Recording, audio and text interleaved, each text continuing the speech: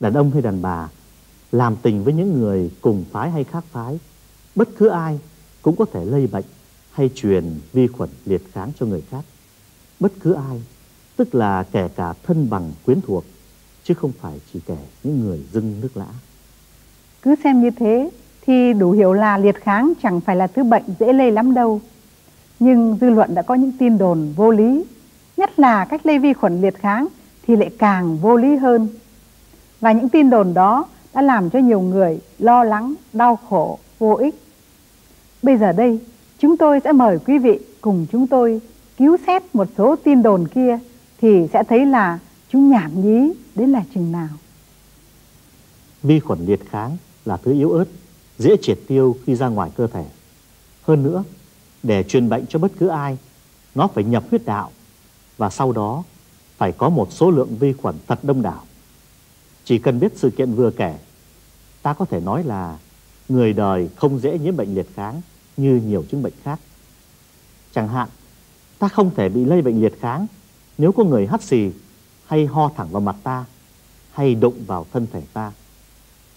Chúng ta cũng không thể bị lây bệnh chỉ vì dăm ba nốt mũi đốt hay vì chung đụng, dao, nĩa, đĩa bát hay ăn cùng đồ ăn và ngồi cùng bàn với người có bệnh. Chúng ta cũng không thể bị lây bệnh chỉ vì dùng chung phòng tắm, phòng tiêu, máy giặt hay ăn cùng bàn với người có bệnh. Có lẽ mối ưu tư lớn nhất của nhiều người là khả năng bị lây liệt kháng vì những dao, nghĩa, đĩa bát đã có lần qua tay người có bệnh. Vậy thì ta hãy mổ xẻ lập luận vừa kể xem sao. Trước hết, để có thể nhuốm bệnh theo kiểu vừa kể, ta phải bị nhiễm trùng qua chỗ nước miếng còn dính trên những dao, nĩa, đĩa bát đã dùng hay là trong chỗ thức ăn đã ăn chung. Nhưng ngay như có nuốt chửng một số vi khuẩn còn sót ở mấy món đồ vừa kể thì ta cũng chẳng sao hết. Như thế là vì số vi khuẩn kia sẽ bị tiêu diệt khi chúng gặp chất axit trong bộ phận tiêu hóa của ta. Hơn nữa, ngay như da trong miệng ta có bị rách, bị đứt, thì chất nước miếng kia không sao hội tụ được đủ vi khuẩn để ta có thể nhuốm bệnh qua những vết thương trong miệng đó. Chính vì thế mà chưa ai bị nhiễm bệnh liệt kháng chỉ vì chuyện hôn môi nút lưỡi. Chính vì thế mà chưa hề có ai bị nhiễm dịch chỉ vì nhấp chung chén nước thánh ở nơi giáo đường. Người ta thường còn sợ một chuyện nữa là nhiễm trùng nơi thương tích của người khác hay là nơi có máu đổ trong một tai nạn nào đó. Nhưng xin quý vị nhớ cho là máu kia còn phải xâm nhập huyết đạo trong cơ thể ta, thời ta mới có mỏi bị nhiễm dịch. Chỉ cần thận trọng, tỉnh táo chút đỉnh là ta có thể gột rửa chỗ máu nhiễm trùng kia đi một cách rất an toàn. Cũng xin quý vị đừng quên là vi khuẩn liệt kháng là thứ rất dễ bị tiêu diệt khi ở ngoài cơ thể ta. Một chút thuốc tẩy hay nước raven, xà bông hay kem cạo râu cũng đủ đưa nó đến chỗ diệt vong. Có điều chắc chắn là gặp nước biển hay nước clo hóa trong bể bơi là nó cũng chết tức thì. Liệt kháng là thứ bệnh không thể lây truyền trong sự tiếp xúc bình thường với những người khác. Ngay như nếu trong gia đình hay trong cộng đồng ta có người đã nhiễm bệnh thì người khác không thể bị lây nếu cứ tiếp tục cuộc sống bình thường mỗi ngày.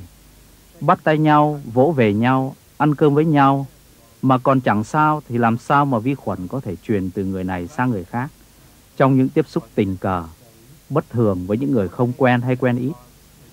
Chẳng nền văn hóa nào, không một sắc tộc nào là có riêng một đặc điểm gì thực sự nguy hại. Liệt kháng không phải là đặc sản của riêng sắc tộc nào.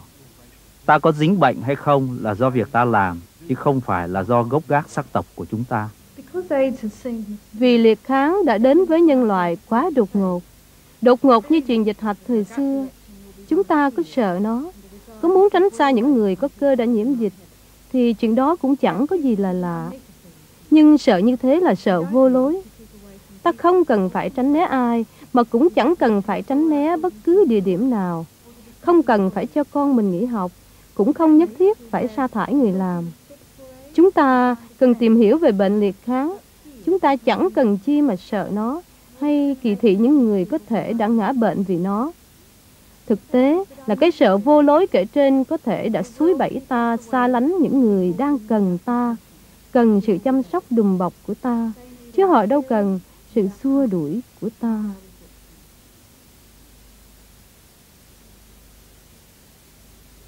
Vì nhục dục ái ân, nôm na là làm tình, là nguyên ủy chính đưa đến chứng liệt kháng.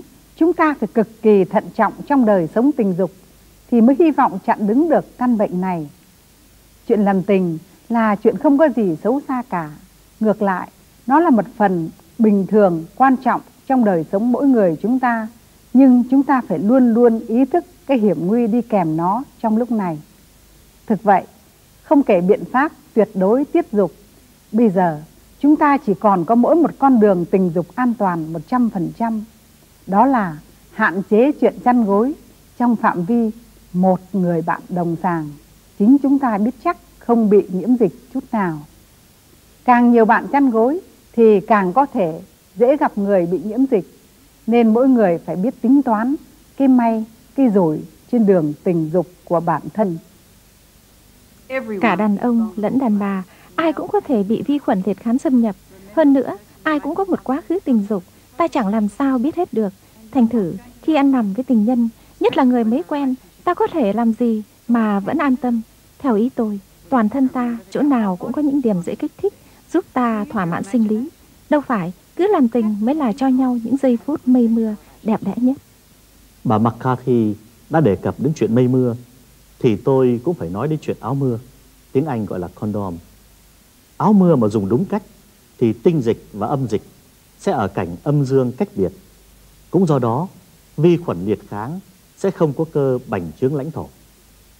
Trong khi làm tình, xin quý vị hãy nhớ đừng để cho tinh dịch, máu huyết xâm nhập cơ thể mình, nhất là khi mình không cầm chắc người tình có nhiễm dịch hay không. Dùng áo mưa thì phải dùng cho đúng cách và không bao giờ dùng chung ống trích và kim. Trong cộng đồng Úc, một số người vẫn có ý cho rằng hiểm họa nhiễm trùng liệt kháng đối với quảng đại quần chúng đã bị thổi phồng quá đáng. Nhưng những người đó, có lẽ tôi xin thưa là ở Mỹ bây giờ, số người dĩ tính luyến ái bị liệt kháng đã vượt hẳn số người đồng tính luyến ái nhiễm dịch cách đây 5 năm. Xem thế thì liệt kháng rõ ràng là một bệnh dịch đang lan tràn trong xã hội loài người. Mỗi người chúng ta đều có bổn phận bảo vệ chính mình và bảo vệ người khác. Ta không thể để cho bệnh liệt kháng mang thảm họa quá lớn cho đời. Chúng tôi vừa trình bày hầu quý vị ba điều bảy chuyện quan trọng nhất về bệnh liệt kháng. Tiếng Anh gọi tắt là AIDS.